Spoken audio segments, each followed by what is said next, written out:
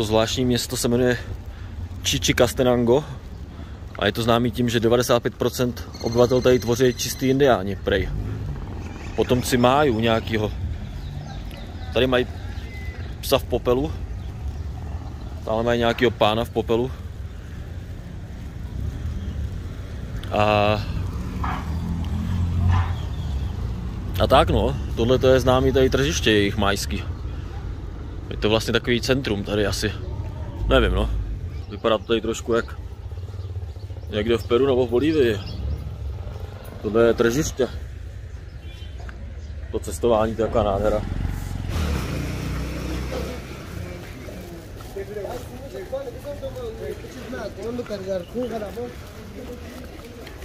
Teprve to rozjíždějí, je, je brzy ráno.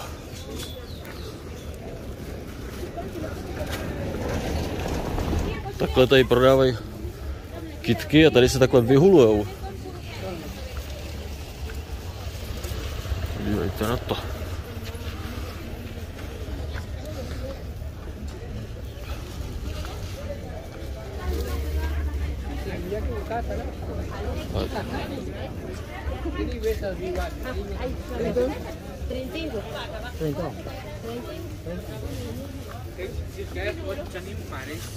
To jsou prodeje.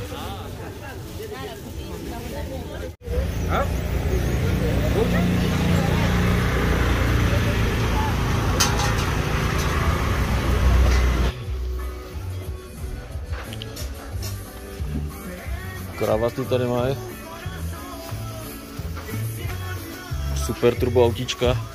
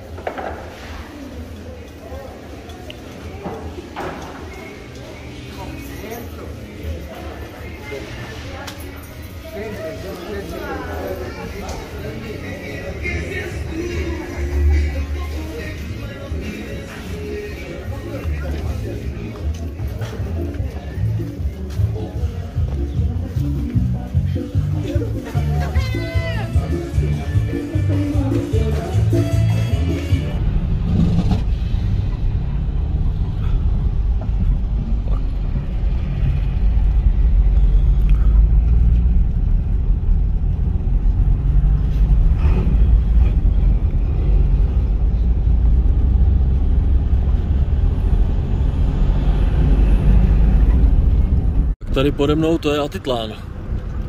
Ta slavná hypizácká destinace. Co si o tom myslíš, moje lištičko? Bude se nám to líbit? Nebo si řekneme, že to je další destinace plná hippíků, co nosej náramky, kouřej trávu, tancujou? Uvidíme, uvidíme. Jsou tady odpadky, potřebuji chcát. Ta příroda. Já si tady vždycky tak krásně odpočinu.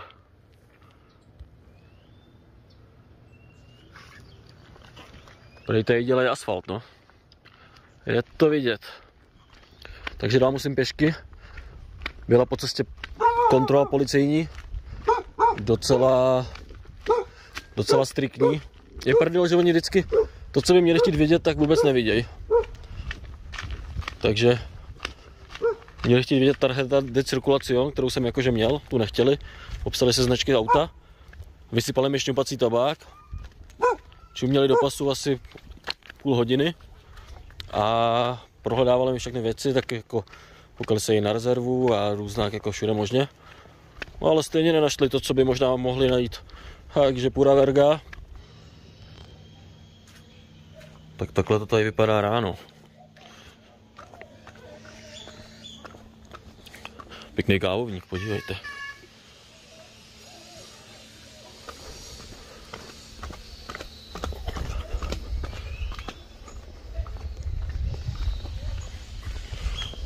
Už je vlastně půl devátý.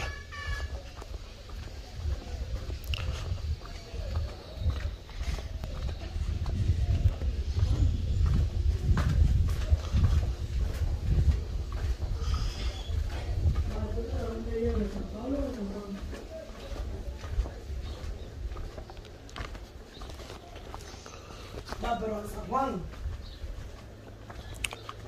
Nosotros lo pintamos en San Juan. Takže půra vida, no. Pablo. Ranní džusíček. Ale řeknu vám jeden příběh. Včera jsem tady mluvil s týpkem, co prodával džus. A říkal mi, jak se mluví ve vaší zemi španělsky? A já říkám, kurva, to vypadám tak jako dobře, že mluvím španělsky, jako že to nepoznáš. A on říká, jo, a já říkám, tak to pura verga teda. por ejemplo, por qué es el repollo. Sí, eso es interesante. Por ejemplo, el agua para mí se parece muy raro, porque para mí es como la agua en mi, en mi país.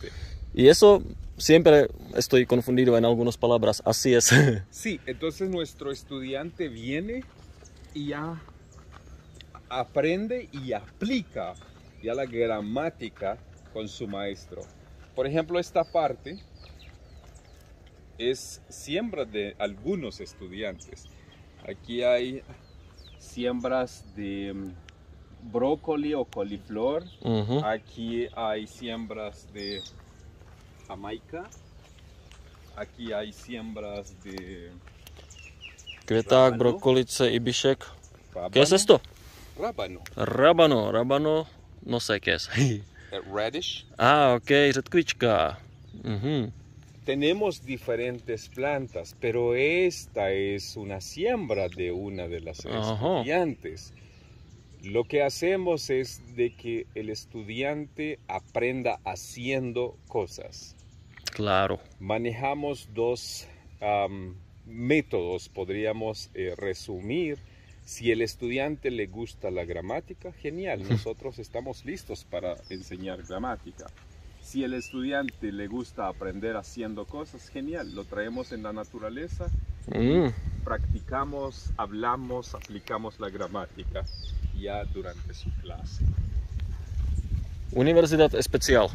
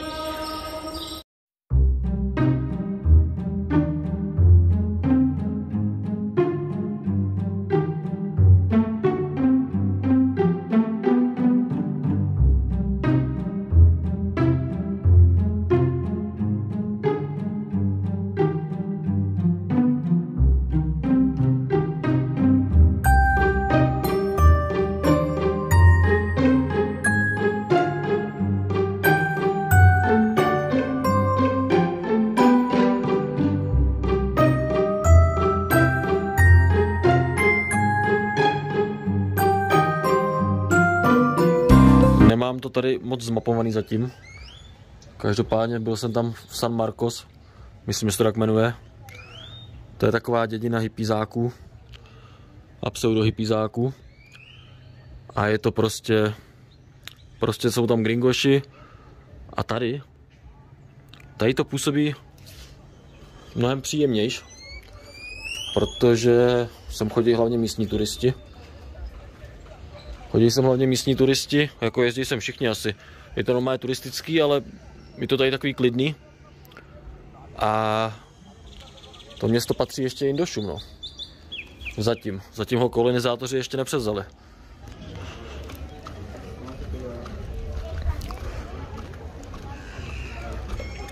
No já jsem tady ještě nejel na lodičce, ale funguje tady MHDčko, ze všech těch prdelí, tady jsou prostě všude různé dědinky, některý větší, některý menší, některý hodně gringo, některý méně gringo, ale jako celkově to tu je dobrý. Celkově to tady prostě má to tady své čaro. Určitě, a to jsem tady jako chvíli. Místní majská bylinková zahrada. Všechno bych měl samozřejmě poznat. Tohle je Plektrantus, víte, toho jsem musel poznat ve škole tolik, že se nad tím ani nebudu zamýšlet, protože bych dostal z toho akorát psychický potíže. Bazalka, meduňka, no tak to teda jsou tamhle šalvěj. Nic převratného. Rozmarín. Bílá vdova.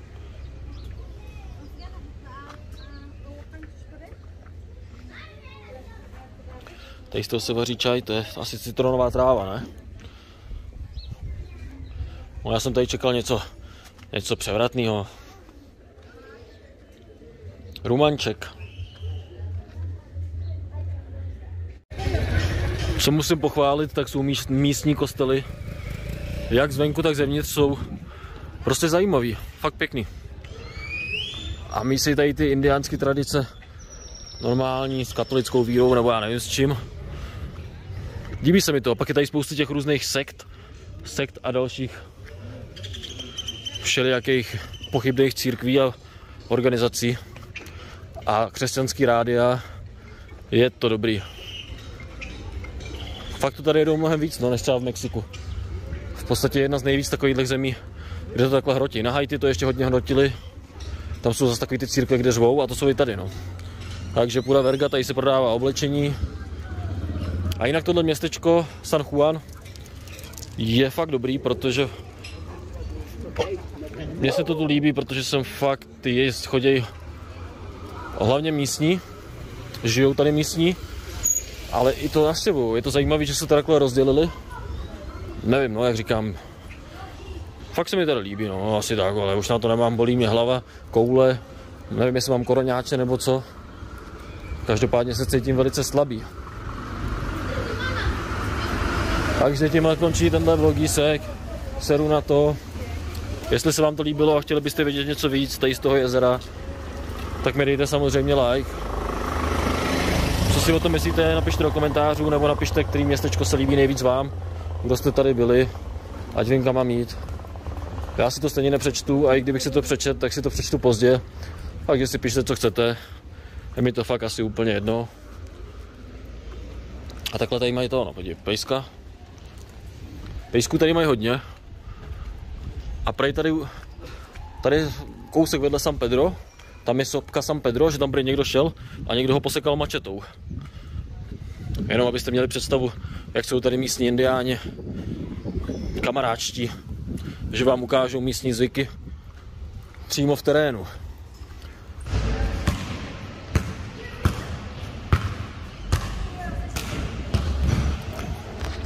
Tady místní gang, mám strach.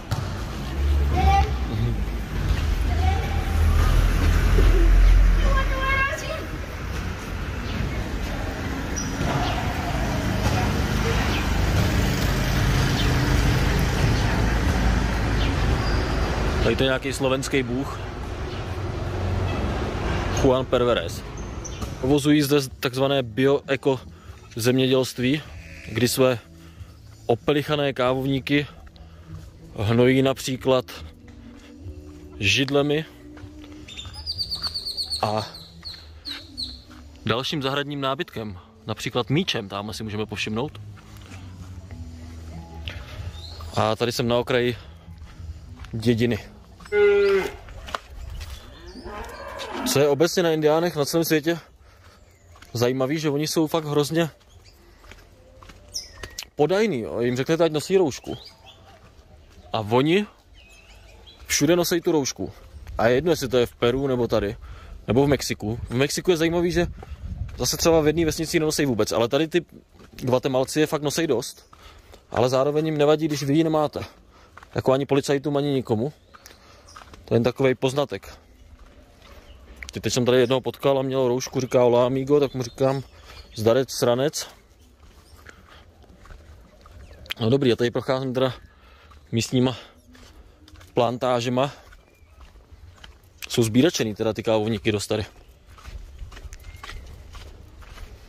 A tamhle to se jmenuje Naris, neboli nos. Nevím ještě přesně. Snad mě tady někdo neposeká mačetou. Ale na nos půjdu asi až zítra, protože se bude stmívat a taky je takový zataženo. No. A takhle bydlejí místní, no, půra vida.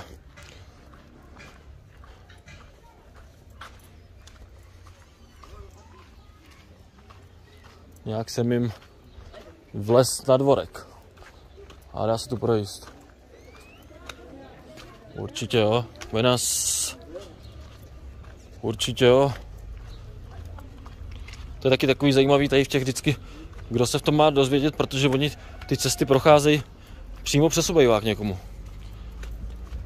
Je to takový, ale takhle prostě oni žijou, no.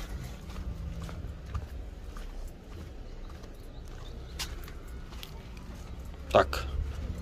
Tam se na to serou u nás v Motulu. V Motulu je to sice desetkrát levnější, ale už chápu, proč to tady stojí, kolik to stojí. Ještě jsem to nevyužil, tyhle služby. Tady už je to lepší. Lepší agrikultura. A zítra Zítra jdu tady na exkurzi potom po místním kávové farmě.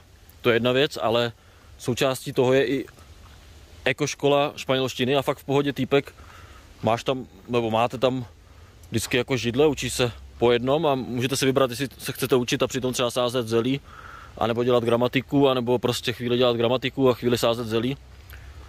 A je to prostě na vás, jak si to domluvíte, jak chcete. A sami nějak si určí, jaký máte level španělštiny. Jestli jste prostě level úplný kokot nebo BC 8.6. A já se tam asi dám zítra i pozítří, po pozítří jednu lekci. Uvidím, jaký, protože já jsem se všechno učil sám, nikdy jsem žádnou lekci neměl, tak bych se možná chtěl už konečně něco taky naučit v tom životě. No určitě tam zítra půjdu a budu natáčet tu kávu, jo, takže jestli vás to zajímá, tak dejte odběr, protože a už jsem byl jako na spoustě farmách a vždycky, ale tady, tady vám k tomu řeknu hlavně ty majské tradice a jak to tady vlastně původně bylo. A prej můžeme mít i týpka, který nám to řekne v majském jazyce. Což teda jako vůbec ani k ničemu nepotřebujeme, ne?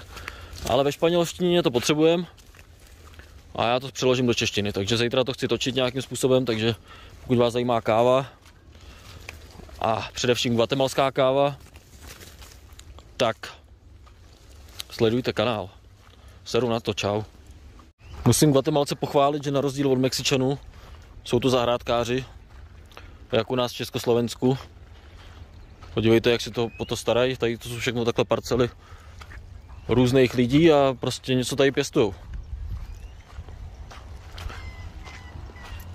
Různé, různé plodiny. O, tohle je to jezero. Podíváme se, kolik je hodin. 17 hodin a 20 minut. Pura verga.